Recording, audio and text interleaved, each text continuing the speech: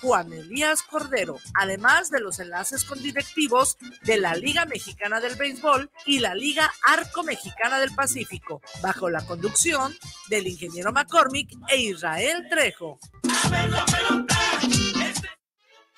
Semillas JS, empresa dedicada al mejoramiento genético para ayudar al productor y al campo mexicano, ofrece una amplia variedad de semillas híbridas para siembra de maíz.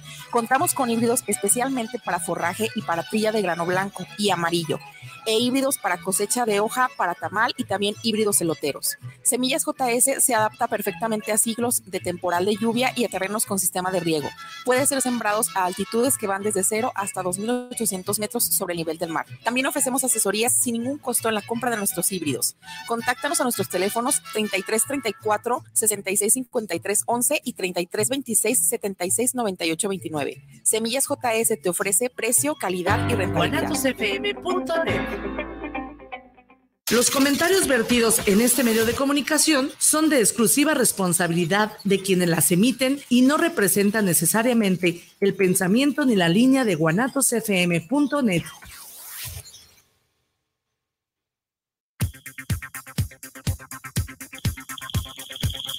Hola, bienvenidas y bienvenidos a un espacio que se hace pensando en todos aquellos y aquellas que gustamos de aprender, crecer y evolucionar un poco más cada día, así como de aportar algo positivo a nuestro círculo familiar, a nuestro país y, ¿por qué no?, a nuestro planeta. Vamos entonces a su programa Juntos ni el matrimonio pesa, con nuestra anfitriona Viri Vargas.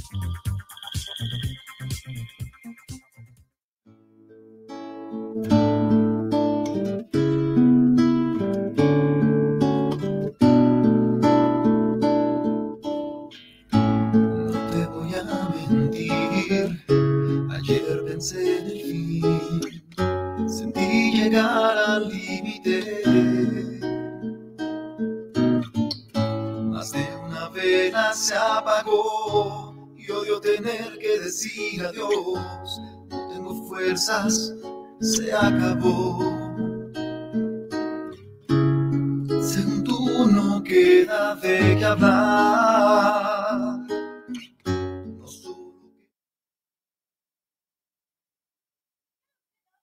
Familia bonita, ¿qué tal? ¿Cómo están? Muy, muy buenas y maravillosas tardes. Bienvenidos a este su programa Juntos ni el matrimonio pesa. Mi nombre es Viridiana Vargas, Viri para los cuates, ya se la sabe usted. Agradeciendo a la mejor radio por internet, que es Guanatos FM, que nos tiene al aire. Y por supuesto a usted el favor de su atención. Familia bonita, el día de hoy, salud. Gracias, perdón. El día de hoy estoy muy contenta porque tengo un invitadazo que usted ya conoce. Tenemos al Tornillo Mayor, que el día de hoy Viene con un tema súper chido, súper relajado, súper especial, porque nos va, vamos a filosofar sobre la mujer, ¿no? Y este tema es precisamente porque ya se le ha platicado durante algunos programas que tenemos un congreso preparado para la mujer y pues bueno, vamos a tener al tornillo mayor hablándonos a nosotras las mujeres desde su hermosa voz, desde su precioso conocimiento, desde su gran corazón. Y pues bueno, es para mí un placer tener aquí como invitado al maestro Bruno Navarro. Bienvenido, maestro Bruno, ¿cómo está eh, usted? Ah, no, ¿verdad? muchas gracias por la invitación. Vengo acelerado en todos los sentidos, vengo muy, acelerado, venía volando el tráfico y demás. importante hablar sobre un Congreso de la Mujer, sí. Muy importante. ¿no? Eh, ¿En dónde está esta importancia? Es, justo de lo que me gustaría desarrollar, ¿no? El, dónde está la importancia de hablar de la mujer y dándole un plus de importancia, viene el hablar de filosofía de la mujer. Ok. Y es un temita muy interesante, muy particular. Fíjate que cuando me dijiste, oye, pues te invito para que hables sobre filosofía de la mujer, eh, que para empezar muchas personas van a poner ahorita el grito en el cielo, ¿no? De cómo hablar de, cómo un hombre va a hablar de la filosofía de la mujer. Sí, y aquí es donde, donde quiero hacer como una aclaración, una puntualización. Hablar de filosofía de la mujer no necesariamente tiene la connotación de un feminismo practicante, como si fuera una ideología religiosa o una ideología política. Claro. Sí, es hablar desde la estructura y desde el análisis del conocimiento mismo. Ok. O sea, cómo hemos construido o cómo le hemos dado el lugar a la mujer dentro del ámbito filosófico.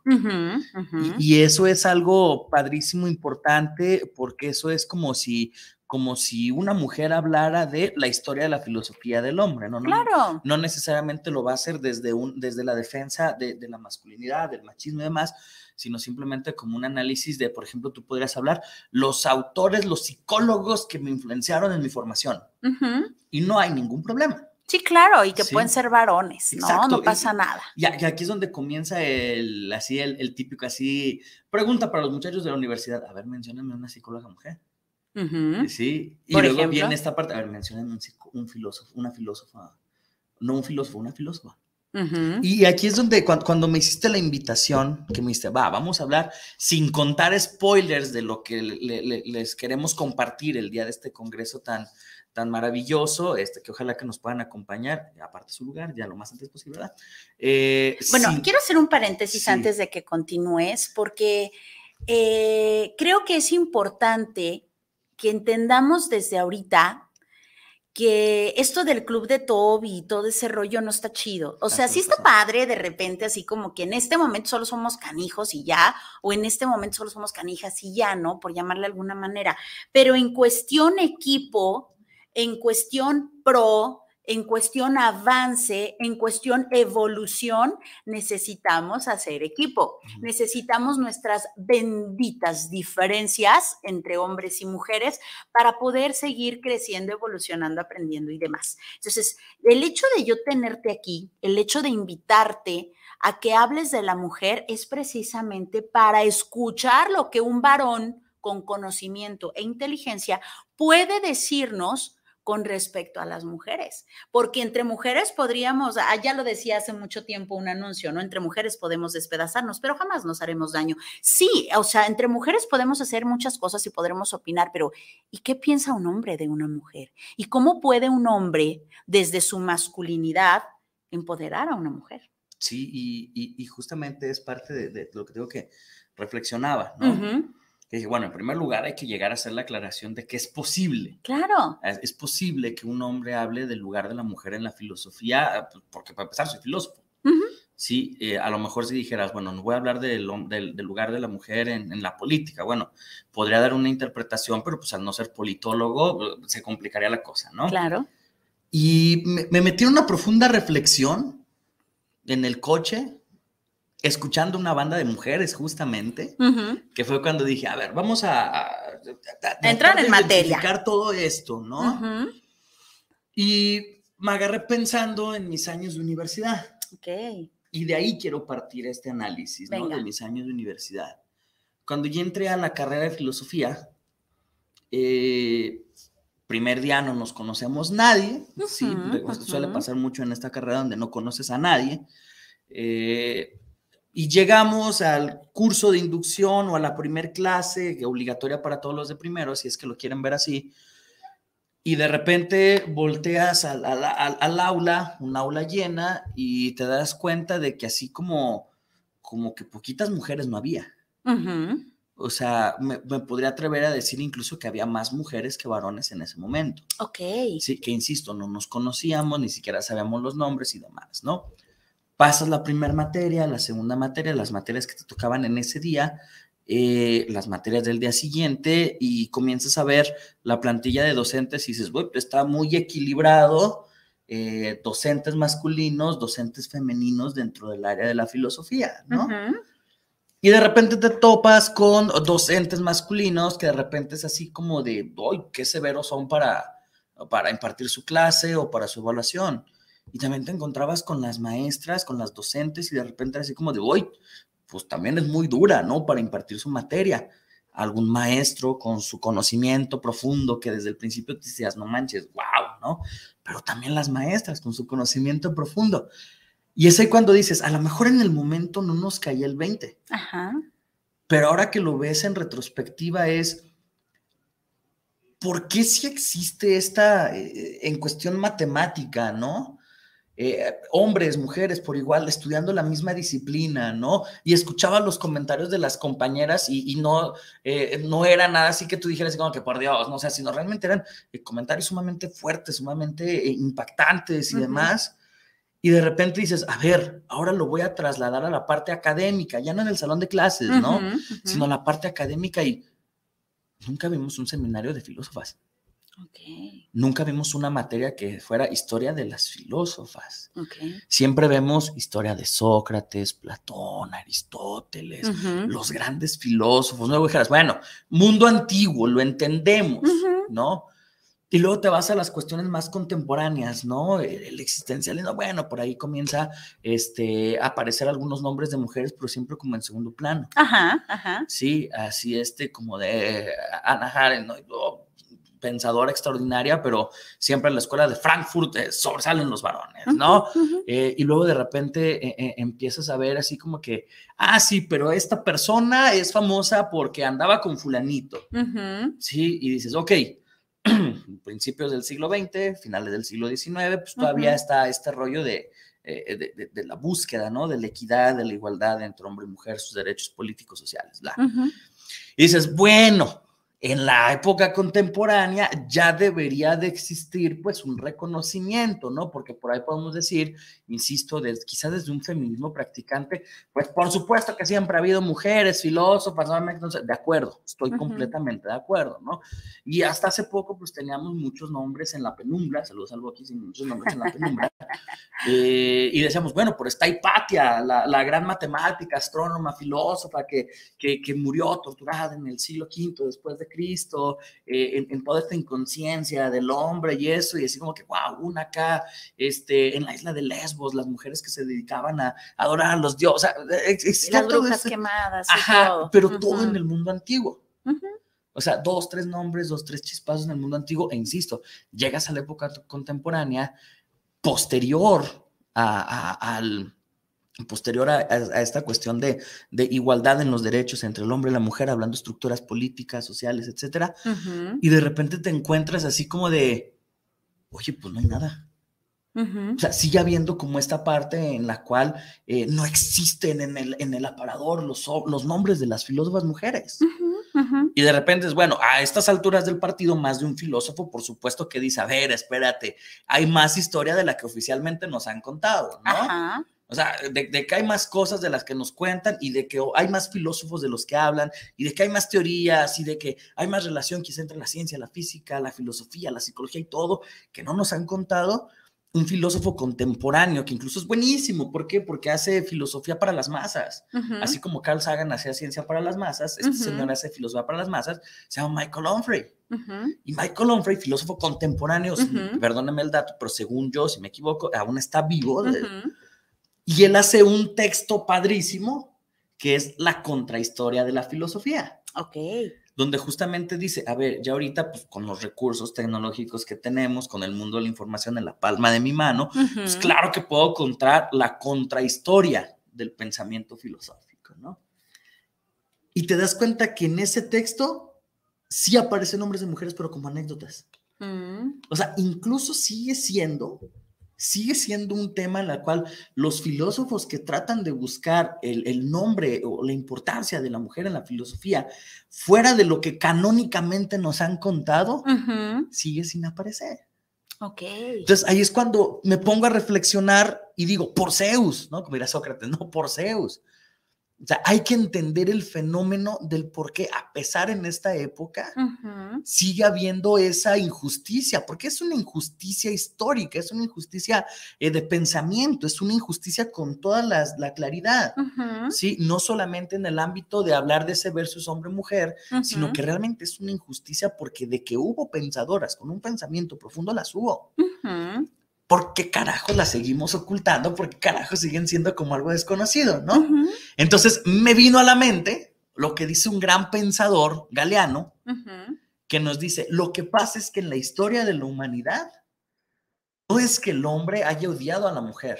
Okay. Y eso es algo importantísimo, ¿no? No es que el hombre haya odiado a la mujer, Sí, sí es verdad que existen casos de feminicidio desde la antigüedad, Sí, casos muy particulares que sí existen y que no podemos decir, no, eso no es cierto, no podemos justificar lo injustificable, pero lo que realmente ha llevado a que el lugar de la mujer pase como a este lugar es porque existe por parte del varón un miedo a la mujer. ok. Fernando Galeano, lo es, Fernando, bueno, a lo mejor ya dije el nombre mal, Galeano lo mencionaba, y, y, y, y con todas las creces, o sea, y no solamente es miedo a la mujer, sino es miedo a la mujer que piensa. A la mujer inteligente. Y, y es ahí cuando, cuando te empiezan a caer los 20 que dices, oye, si es cierto. O sea, claro que esa frase es lapidaria, ¿no? Claro que esa frase tiene toda la, la- la- la dimensión, tiene toda la complejidad que le podemos dar. Porque estamos hablando de que en términos descriptivos, ojo, descriptivos, no estamos diciendo que haya sido lo ideal, en términos descriptivos, nuestra cultura occidental fue cimentada por varones. Sí. Y dentro de esa cimentación, este, pues obviamente fue el, el- el organizar la sociedad, la cultura de cierta manera donde la mujer no tenía estas oportunidades, ¿no? Ahora, si nos vamos a esa lógica, claro que el hombre decidió ejercer el poder. Ejercerlo digo no tener, porque Michel Foucault menciona que el poder no se tiene, solamente hay un ejercicio del poder, ¿no? Entonces, en ese sentido, el hombre decidió ejercer ese poder de tal manera en el que, y lo mencionabas hace rato, la quema de brujas, el, el- el- martirio de, de, de Hipatia y otros de Juana de Arco, ¿no? Sor Juana Inés de la Cruz, que se tiene que ocultar y ujú. demás situaciones. Eh, ¿Por qué? Porque hay una estructura que sucedió así y que se ha cimentado y que se sigue construyendo, en lo cual el hombre dice, no, espérate, prefiero tener un control de quien sí sé que puedo controlar. Y es ahí donde de repente para tener ese control no es que controle a la mujer lo que puede y no puede hacer, sino que simplemente yo como varón sé que puedo controlar a otro cabrón. Entonces preferimos desarrollar una, una estructura social donde hay un control entre cavernícolas Ok. y dejando a la mujer en este segundo plano eh, por cuestiones contextuales y por cuestiones históricas, ¿no? Ujú. Sin embargo, hay una característica cuando nos ponemos a ver el pensamiento filosófico de la mujer, que ojo, no voy a hablar de autoras aquí porque eso va a ser tema de, de- de- de- del Congreso, no va a ser parte de lo que se va a desarrollar en el Congreso, sí, pero cuando nosotros nos ponemos a analizar Ujú. El pensamiento filosófico que muy pocas veces encontramos material para hablar del pensamiento filosófico de la mujer, nos damos cuenta de que quienes cumplían con el rol del filósofo analista de la sociedad eran las mujeres filósofas. Ok. Y eso es algo que cambia por completo la perspectiva del desarrollo de la historia del, plan- del pensamiento filosófico, ¿no? ¿A qué voy con todo esto? Creo que varias veces lo hemos mencionado aquí y de seguro quienes nos, nos siguen se han dado cuenta de que yo les comento que la filosofía es un pensamiento disruptivo. Sí, la filosofía trata de romper el status quo, eh, o por lo menos desde la forma analítica, ¿verdad? Por eso Karl, Karl Marx nos criticaba tanto, ¿no? Pero eh, ese status quo, realmente eh, quien rompía esa estructura de pensamiento era la mujer. Y, y se puede explicar de diferentes maneras, ¿no? Una de ellas es decir, bueno, eh, ¿cómo es posible que los hombres, este, un Aristóteles haya creado una obra fundamental para su contexto, un Marx haya creado una, eh, una obra fundamental para su contexto, un Hegel, lo que sea? O sea, siempre varones, siempre varones, siempre varones, ¿no? Y de repente te das cuenta de que pudieron crear esto, ¿por qué? Pudieron crear esto, perdón, porque vivían en un contexto que les favorecía. Exacto. O sea, si tú tienes a un niño donde tiene todas las facilidades para su desarrollo, se va, va a poder tener la libertad de ser bueno en, en la escuela, bueno en deportes, bueno en natación, bueno en fútbol, bueno en lo que se te dé la gana. ¿Por qué? Ujú. Pues porque tiene el tiempo y las oportunidades para que él ejerza y, y desarrolle todas esas capacidades. Claro. Sin embargo, un niño, tú desde que lo ves, lo, lo limitas Ujú. porque dices, no, si cabrón lo dejo crecer, me va a cuestionar y me va a hacer cosas, lo limitas y lo reservas un espacio en específico a realizar ciertas acciones en específico por ese temor al qué me puede decir, claro que no va a tener la oportunidad ni, ni física, ni de desarrollo, ni de tiempo de plasmar y de hacer conocer grandes hazañas. Entonces es ahí cuando nos cae el 20 y cuando entendemos el por qué de manera injusta, repito, de manera injusta, no le damos ese lugar de transgresora a la mujer que habla sobre el cómo se tiene que romper o desde la forma analítica por lo menos ese status quo. Sí, y, coincido contigo eh, porque todavía lo vemos en nuestra actualidad en este momento ya las mujeres podemos decidir si queremos, si no queremos y etcétera, pero supongamos que nos regresamos unos 20, 30 años, no tanto, ¿no? Unos 20, 30 años en donde, pues, en qué momento la mujer, por ejemplo, podría estudiar o en qué momento podía desarrollarse o en qué momento podría emprender, etcétera, si estaba ocupada atendiendo a los niños, atendiendo la casa, atendiendo al marido, etcétera, etcétera. Hay mujeres que tienen, eh, las mujeres sí o sí estamos hechas para el amor los hombres sí o sí tienen esta fortaleza o esta fuerza más bien, no fortaleza, esta fuerza, ¿no? Nosotros en nuestras benditas diferencias, el hombre tiene esa fuerza, nosotros tenemos este amor y demás. Entonces, no estamos peleando. Eh, el hecho de la famosa igualdad, sino la equidad. Qué padre que hoy en día ya no está pasando esto, ¿no? O sea, estamos escuchando de parte de Bruno, de su conocimiento, cómo era antes y por qué esas mujeres pues no aparecen en la historia, ¿no? Sor Juana tuvo que renunciar a muchas cosas, Sor Juana tuvo que disfrazarse de muchas cosas porque no lo traía como vocación, pero se tenía que disfrazar para poder estar cerca de los libros y luego cuando es descubierta se le quema todo. O sea, imagínese usted, aquí una, había una vocación, un porqué muy grande para poder ir detrás de, ¿no? ¿Cuántas Sor Juanas no tenemos hoy en día que son, pues hasta cierto punto, obligadas por la sociedad, comentarios, contextos, expectativas de los otros, que se dedican a niños cuando no querían tener hijos? que se dedican a atender al marido cuando a lo mejor no querían ni casarse, eh, por lo que usted quiera, y a lo mejor esa mujer tenía ganas de cambiar el mundo de otra forma, ¿no? O sea, ponerlo totalmente diferente y no se le dio el contexto adecuado. O sea, vamos escuchando esto de manera descriptiva sin llegar, porque si se fijan, no es directo y a la yugular contra el varón. Eso ya pasó, eso ya fue. Eh, desde mi punto de vista muy personal, creo que no es necesario sacar la espada o, desenvainar la espada y ponérsela en el cuello al varón, porque incluso el varón eh, actual, no todos, no podemos eh, hacer un totalizar, pero de manera general los varones piensan diferente. Los varones tienen más apertura. Sí, hay muchas mujeres a las que les ha costado y bla, bla, bla, pero hasta cierto punto de repente podemos ya estar cayendo en lo mismo que en su tiempo cayó el hombre, ¿no? Entonces... Sí, es, una, es una transformación social. Eh, fíjate que estaba escuchando un filósofo español, no recuerdo el nombre, eh, que justamente hacía esta pregunta, ¿no? O sea, ¿por qué no, a pesar de ya tener esta concepción del entender por qué no se les daba el lugar, de entender el por qué aún no se les da el lugar, decía, hay ciertas preguntas que aún no tienen una respuesta, ¿no? Como por ejemplo, el por qué no se habla de filosofía latinoamericana, por qué no se habla de filosofía de la mujer. Sí, y mencionaba a él como un ejemplo, como un sinónimo, algo que se me hizo brutal y revelador para entender que estamos en un proceso si estamos contando el lugar que se le tenía y que se le ha dado es porque es el inicio del proceso.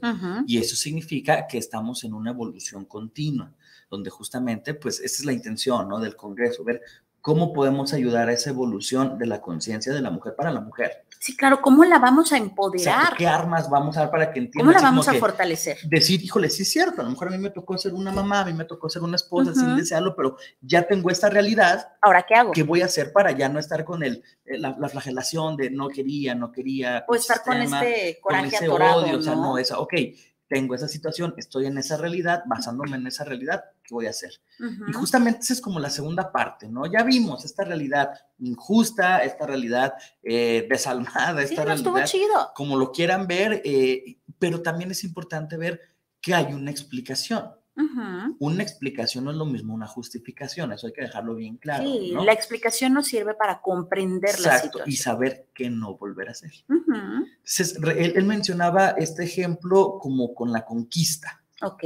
¿sí? Cuando eh, nosotros aquí en Mesoamérica teníamos culturas florecientes muy fregonas, muy importantes, teníamos acueductos, teníamos cosas padrísimas, llega un momento en el que hay una conquista y se viene a imponer ideales europeos a Mesoamérica y obviamente esa imposición aplasta y todo lo que nosotros éramos en un origen ya no puede salir. Ajá. Está sepultado, ujú. ¿no? Entonces se tiene que adecuar la situación a que, a que nosotros, para primer lugar, tomemos conciencia de, uno, sí, fuimos conquistados. O sea, sí, podemos tener apellidos europeos y lo que tú quieras, pero fuimos conquistados, ¿no? Ujú. O sea, nuestra raíz fue conquistada. Dos, el saber que nosotros, a pesar de ser conquistados, pues bueno, eh, teníamos un pensamiento particular, teníamos costumbres particulares, ¿no? Y tres, saber que en su momento nosotros tenemos que aceptar que fuimos conquistados y después dar el salto a ya no vernos a nosotros mismos como una cultura conquistada, sino como vernos como una cultura nueva, renovada. Sí. Entonces ahí viene tomando este ejemplo que mencionaba este filósofo español con la mujer. Sí, hubo un contexto histórico desfavorable en el que la mujer, su pensamiento, sus capacidades, sus decisiones, la figura de la feminidad como tal fue conquistada. Y cuando se da, nos damos cuenta de esto, ¿no? Porque no solamente algo que la mujer nota, también los varones lo notamos y lo sabemos, ¿no? Entonces nos damos cuenta, es como esta parte de decir, híjole, ahora a la mujer, ¿qué le corresponde hacer? No solamente en el ámbito filosófico, Ujú.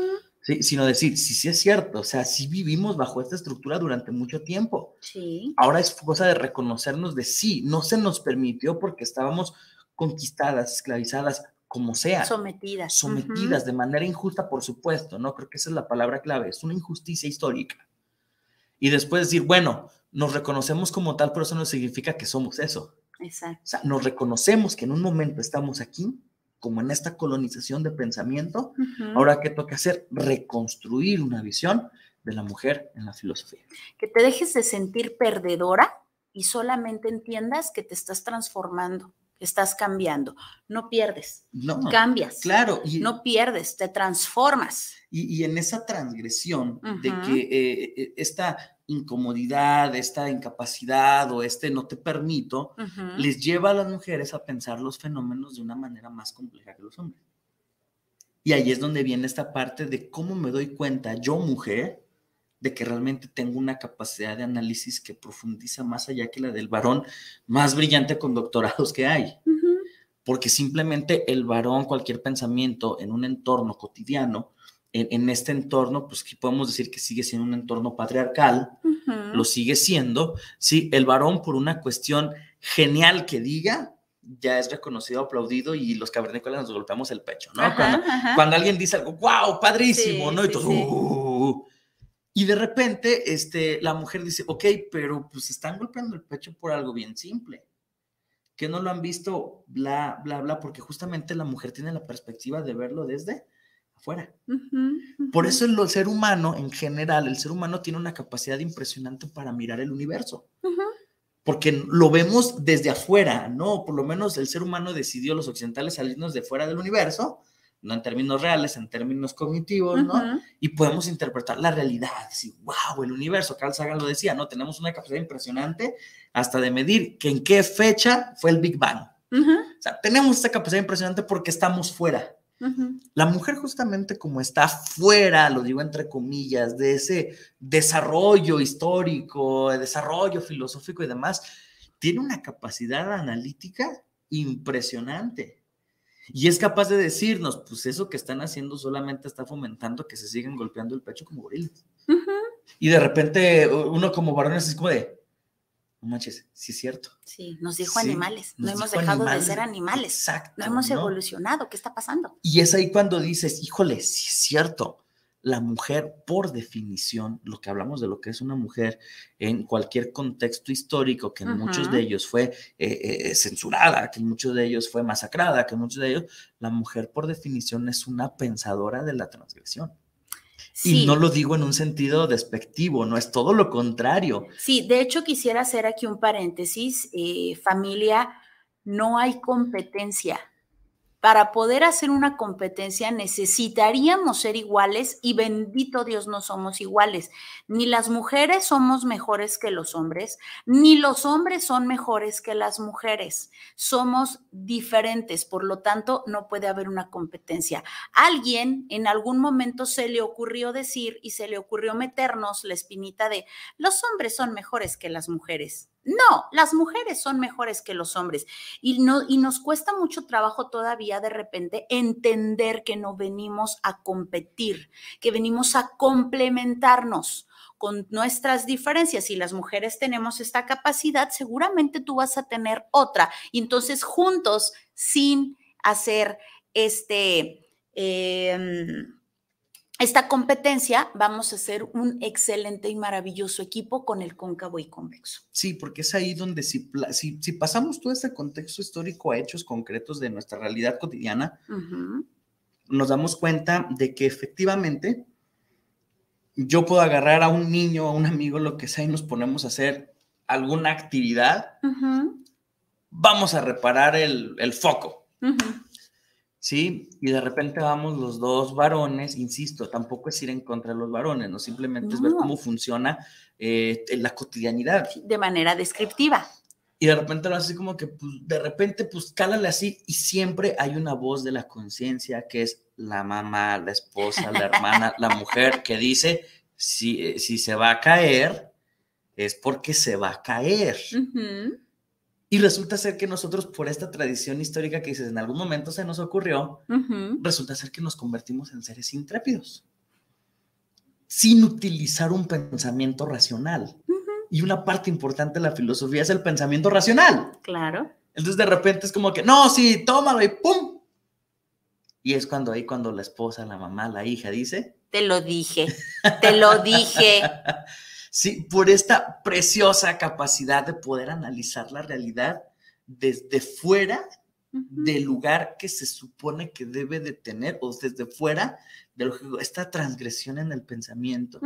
Sí, utilizar transgresión en este sentido es un halago. Aunque pudiera parecer que no lo es, no, es un halago. O sea, porque rompes con esa visión eh, en donde tú ya sabes de van a hacer algo, Ah, déjame llevo el botiquín, ¿no?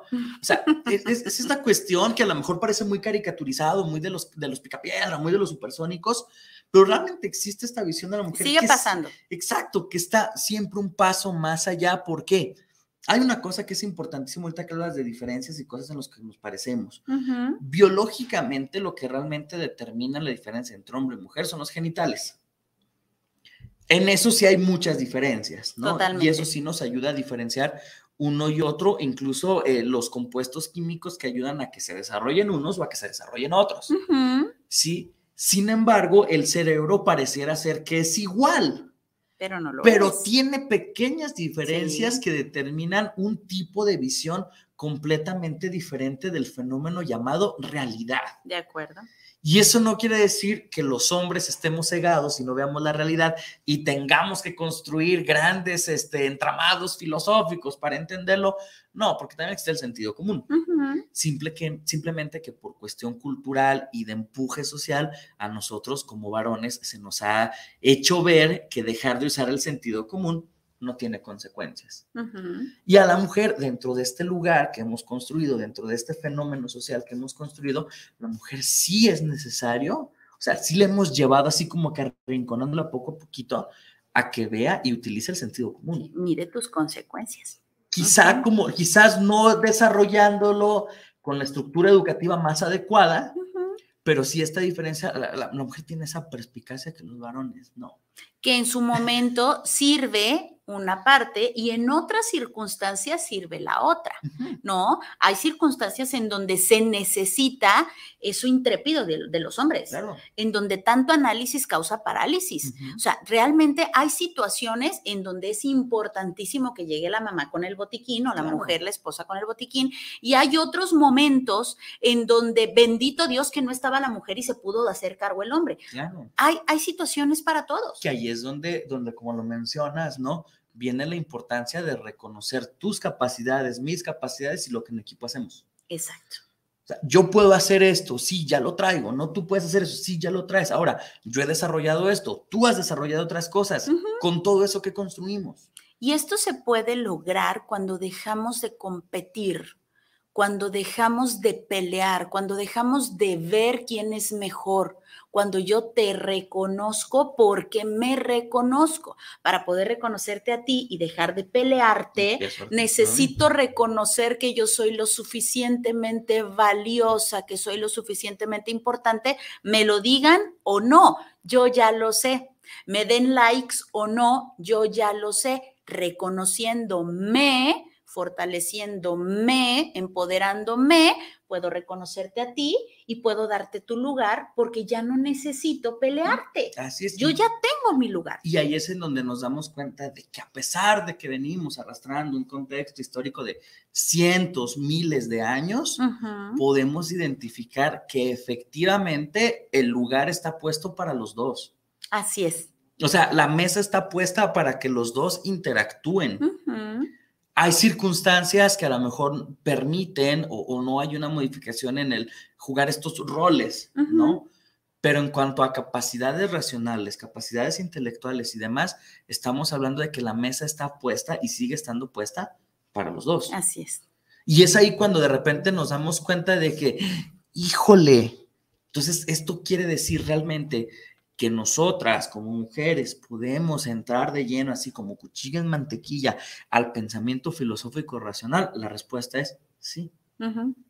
Porque si bien el varón en sus desarrollos filosóficos de toda la historia de la humanidad ha tenido que darle vueltas y vueltas, somos rolleros, pues, da vueltas y vueltas al asunto, la mujer logra entender desde una perspectiva sumamente natural cómo es el funcionamiento de la realidad. Y nos damos cuenta a través de detalles muy pequeños que a lo mejor para nosotros los podemos considerar como ah, anécdotas, payasadas, lo que sea, ¿no? Eh, las abuelitas, abuelitas, nos enseñaban a cómo cuidar las plantitas sin necesidad de hacer un, desarrollo eh, historiográfico y biológico como lo hizo Darwin para entender cómo se desarrollan. No, existe esa perspicacia. Esas pequeñitas diferencias morfológicas entre un cerebro masculino y un cerebro femenino sí llegan a determinar el cómo nos enfrentamos a la realidad. Claro. Y, claro. Y, las mujeres, no me dejarás mentir, no necesitan estar buscando esa aprobación para saber que así se hace algo. Tú sabes que así es traes un algo que te dice cómo. Así es, y los hombres no tenemos que estar buscando la aprobación y la comprobación para decir, sí, lo que estoy diciendo es porque tengo los pelos de la burra en la mano. Y pasan muchos procesos para ello, ¿no? Ojo, no es que sean mejor o peor, simplemente son diferencias. y de ambos se sacan cosas chidas. Exacto, que si nosotros así como de, ok, a lo mejor me cuesta trabajo en mi modo cavernícola confiar en lo que yo puedo hacer, me acerco a una mujer de confianza y digo, ¿cómo ves? Y es ahí cuando se comienza a construir una relación social, se comienza a construir una relación cognitiva en la cual nos enfrentamos ambos como equipo hacia una realidad que va a ser más fácil comprender. Pero si yo te veo a ti como competencia, entonces te voy a pelear. Exacto. Entonces te voy a rechazar. Por, por eso decía en el principio, si bien estoy hablando de la mujer como y, su lugar en la historia de la filosofía, que, a, que, a, lo mejor no es el que quisiéramos que tuviera la mujer o, no se ha llegado a estar en el lugar que quisiéramos tener, no es hablarlo desde un feminismo, desde un machismo, desde un embrismo, desde, un, eh, desde una masculinidad, no es simplemente hablarlo desde la objetividad de qué hay en el fenómeno humano claro. que nos permite eh, identificar estas diferencias y por qué no hacerlas hacerlas parte de nuestra realidad y construir como, con, base en ellas una nueva versión, una nueva visión de lo que tendría que ser el desarrollo del hombre y de la mujer, que por fines prácticas en el Congreso, vamos a hablar en específico de la mujer, pero también es dicho en general, ¿no? O sea, dándome cuenta cómo nosotros llegamos a este punto, cómo reconstruir una nueva versión de la masculinidad. Así y en el caso de la mujer es cómo construir una nueva versión de la feminidad. En donde seamos equipo y no competencia. Ya estuvo bueno de competencias, por Dios. Ya vimos los resultados. No estuvo chido. No estuvo chido tanta violencia y tanta opresión con la mujer, pero tampoco está chido esta, esta parte de, de, opresión también al hombre y esta agresión hacia el varón. No está padre. Como bien comentas, está todo servido en la mesa para los dos, no tiene por qué haber una competencia. Vamos viendo cómo sí se puede construir. Ya vimos cómo se destruye, ¿no? Ya vimos que no está chido, que hay mucho dolor de por medio, que hay muchas lágrimas de por medio, que hay mucha eh, enojo, ira, eh, impotencias, que, que hay mucho aquí en la panza, que hay mucho dolor, que hay mucho sufrimiento. Ya vimos que destruir no está padre. Entonces vamos viendo cómo construir una nueva masculinidad, cómo construir una nueva eh, mujer, cómo construir una nueva sociedad desde el equipo, desde el amor, desde la conciencia. Y es ahí donde de repente en esta nueva construcción hay que entenderlo, ¿no? O sea, eh, típica etiqueta y típico estereotipo social, así como que, no, no eres una mal mujer si no quieres atender a tus hijos, ¿no? Y no, no eres un mal hombre si no tienes para sacar a tus hijos a Disney de vacaciones. O sea, es romper con esos estereotipos, ¿no? Es. cambiarlos, es transformarlos, en el darnos cuenta de que esos estereotipos a lo mejor ya están gastados, a lo mejor ya están, eh, eh, pertenecen a otro contexto. Pues que a lo mejor en su tiempo funcionaron, pero hoy ya no. Exacto, entonces decía así como que tú, mujer, que quieres trabajar, que quieres estudiar eso, no eres mala mujer porque no cumples con el estereotipo de criar hijos, no, no es cierto. Sí, no eres mala mujer porque no te maquilles, por ejemplo, o no eres mala mujer porque no cocines. Y tú, hombre, no eres mal hombre porque no tienes, este, no, no, no solucionas todo a billetazos o porque, o porque te das tiempo de descansar o porque te das tiempo de expresar emociones o lo que sea. Son nuevas realidades, pero para poder entender y construir una nueva realidad, tengo que comprender en el contexto en el que me encuentro. Exacto, ya vimos que los extremos no están chidos. Claro, y, el, porque el extremo viene a través de algo, del prejuicio. Y si queremos hablar de filosofía en el ser humano, entre el hombre y la mujer, hay que entender que se supone que la filosofía debería ser una búsqueda del conocimiento sin prejuicios pero de repente nos cuesta mucho trabajo. Sí, porque ya lo traemos como cultura, ya lo traemos como educación, ya lo mamamos en su tiempo desde la infancia. Entonces vamos viendo cómo sí, de verdad va a ser un congreso maravilloso, va a ser un congreso gratuito, es un congreso que es con temas para empoderar a la mujer, para fortalecer a la mujer, aunque los hombres son bien, bienvenidos. Si tú estás rodeado por mujeres, te va, te va a convenir. ¿Para qué? Pues para que puedas entender un poquito más, ¿no? A, esta, a esta mujer que tienes al lado, ¿no? Llámale mamá, pareja, etcétera. Hija, ¿por qué no?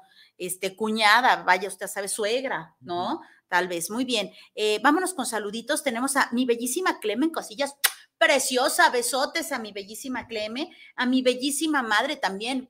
Besotes, madre, me dice, eh, saludos a Juntos ni el Matrimonio Pesa, saludos a los dos y bendiciones. Muchísimas gracias, madre. Sé que vas a estar en primera fila en este congreso. Omar Flores, saludotes, precioso Omar. Eh, también tenemos a Elizabeth Martínez, preciosa, Saluditos, también tenemos a Angie Ponce, preciosísima. Besotes también. Eh, de este lado, tenemos a Fernando Arellano. Saludos para el programa y saludos para Juntos ni el Matrimonio Pesa. Muchísimas gracias, Fernando. Besotes. Tenemos a Carla Osorio. Saludos al programa. Saludos al Tornillo Mayor y a Viri Vargas por tener este gran tema de la filosofía de la mujer. Muchísimas gracias, Carlita preciosa, besotes. También tenemos a Manuel Rosales. Saludos para el programa, saludos para Juntos ni el matrimonio pesa desde Tonalá. Besotes al precioso Tonalá y a Manuel. Muchísimas gracias.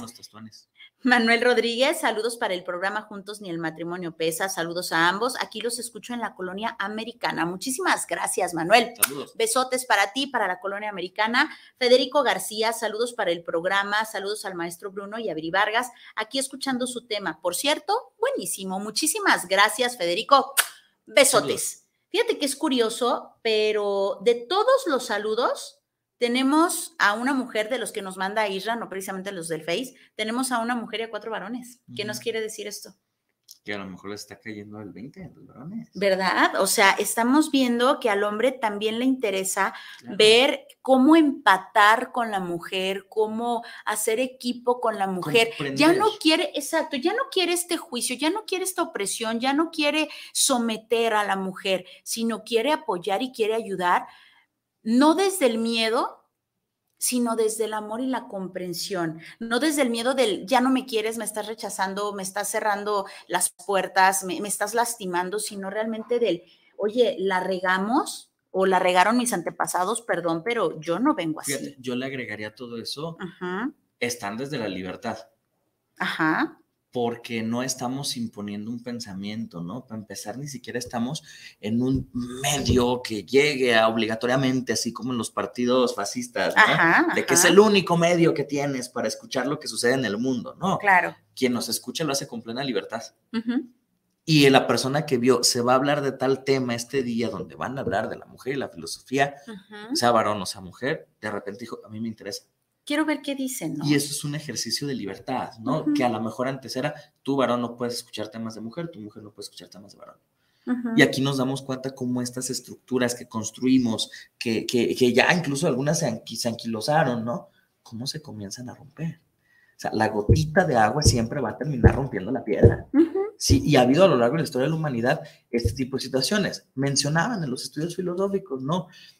Qué raro. Siempre son mujeres las que hablan de mujeres filósofas. Ujú. Y yo me lo pregunto, ¿no? Me lo planteo también ahora desde poniéndome la etiqueta del filósofo, ¿no? Ok, ¿Y por qué chingados no hablar un nombre de las mujeres filósofas? claro. O sea, ¿por qué demonios no hacer una investigación que se pueda compartir de decir, en la historia de la humanidad existen estas mujeres que no se les dio la voz y el voto? Ujú. que y no se hoy les que hoy yo reconozco. Y yo como Aaron, entendiendo la importancia que tiene el pensamiento de la mujer para la historia de la humanidad, Ujú. Le doy ese reconocimiento. Como desde mi trinchera, desde mi herramienta, en un programa, en un libro, en una plática, en un café filosófico, en lo que sea. Pero es ahí cuando dices, ya no tengo por qué estar atado al estereotipo de tú, hombre, no hables de filósofa, porque chingados, no. Entonces, puedo hacer algo, o sea, yo como varón, un compromiso como varón, como profesionista, como lo que sea, el que realmente esto que me generó un impacto, porque sí fue como, originalmente a lo mejor en mi mente era el, vamos a hablar de, de- de mujeres que, que han dicho cosas en la filosofía, Ah, caray. pero de repente llega esta reflexión así como de, güey, pero es una cosa mucho más profunda. Va más allá. Exacto, o sea, no, insisto, porque si yo hablo de fulanita dijo esto, no deja de ser la anécdota como cuando el niño chiquito de cinco años dice algo brillante. No, hay que entender por qué ese niño pequeñito dijo algo brillante. Y la intención, o por lo menos la intención que yo traigo sobre la mesa, la propuesta que traigo en, en- en esta tarde-noche, es darnos cuenta de que por qué la mujer llega a decirnos cosas brillantes, porque tiene ese lugar de importancia en el desarrollo. Y, y- y cierro con un ejemplo magistral, ¿no? Eh, el papá de nuestra filosofía, de la filosofía oriental, es Sócrates su máxima influencia no fue otro filósofo, su máxima influencia no fue un maestro, su máxima influencia ni siquiera fueron las personas con las que eh, eh, tuvo contacto en el mundo de la milicia. La máxima influencia para Sócrates fue su mamá, En el entendido de que la mamá de Sócrates era partera. Y Sócrates veía y le fascinaba. Creció en la casa viendo cómo iban las mujeres a tener a sus bebés allá en la casa y a Sócrates es- eh, siempre comentó, o se cuenta que él comentó, que él quedaba maravillado de ver cómo traían una vida al mundo. Wow. Entonces Sócrates dice, es que yo quiero traer, ah, tú eres varón, tú no puedes Tú ser partera. Dice, entonces, ¿cómo yo voy a dar vida? Ya sé, yo voy a ser el que va a parir ideas en el hombre. Entonces, esa influencia tan bonita de la mamá, o sea, una mujer fue la que determinó que el más grande pensador de la cultura occidental, Sócrates, el papá de todos los que somos filósofos, de todo el pensamiento occidental, dijo, así como mi mamá trae a la vida seres vivos, yo voy a traer a la vida, yo voy a dar luz las ideas del hombre. Así de importante y así de grande es el lugar de la mujer en la historia del pensamiento, que a nosotros, seres humanos, hombres y mujeres del siglo XXI, nos toca no solamente contarlo como una anécdota, sino nos toca hacerlo parte de nuestro desarrollo histórico, el darle ese lugar y mantener ese lugar, la importancia del pensamiento filosófico transgresor, que significa ser mujer.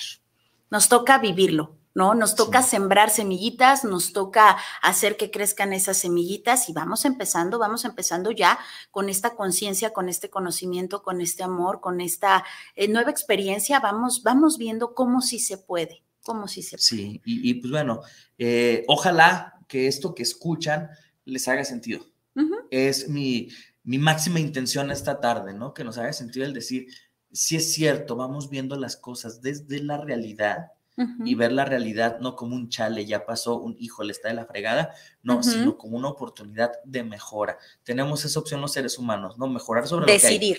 O sea, yo decido mejorar o decido quedarme donde estoy. Decido quedarme Entonces- encabronado o decido eh, dar Igual- una nueva igual- igual oportunidad. como mujer, ¿no? O sea, decir, eh, yo estoy encabronada porque fueron injustas con nosotros como mujeres, o decir, si es cierto, a partir de este momento se quita esa injusticia. Exacto. Vamos a hacer algo, y yo lo digo en público, me comprometo a hacer un estudio filosófico de las mujeres en la historia de la filosofía. Muy bien, pues quedó grabado. Muy bien. Eh, ¿Con qué te quedas brevemente? Eh, ¿Con qué te quedas y con qué quieres que se quede el público? Eh, rápidamente, saludos a Dorian y a Madre y Ángel que nos están viendo, ¿verdad? Que dejó su cel aquí. este, ¿Con qué me quedo? Con que seamos tan conscientes con este ejemplo que les acabo de dar al final, ¿no? Sin una mujer no hubiera existido un Sócrates por dos cosas. Uno, nunca hubiera nacido. Y dos, nunca hubiera tenido la influencia que nos vino a destapar a nosotros los occidentales el pensamiento filosófico formal. Así que gracias, mamá de Sócrates. Gracias. Ya platicaremos de ti en el Congreso a mayor profundidad.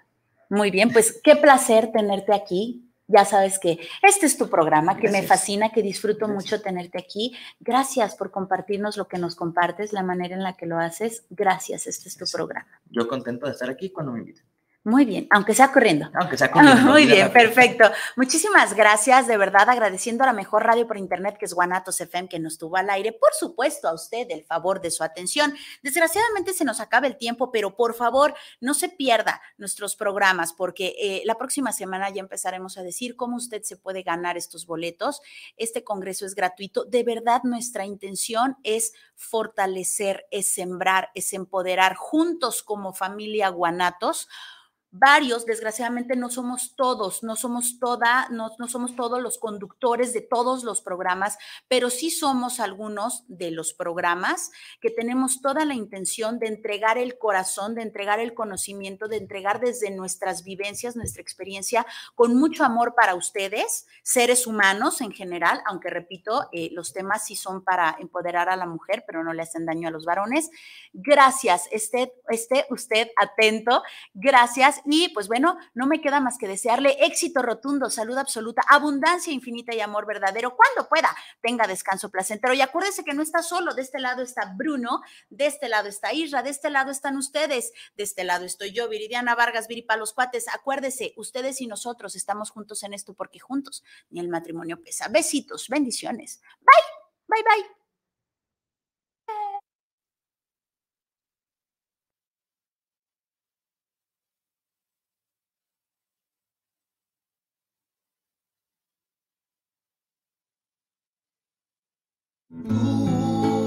A intentar. Muchas gracias por habernos acompañado en este su programa Juntos ni el matrimonio pesa. Deseamos que todos nos hayamos llevado algo positivo. Hasta la próxima semana.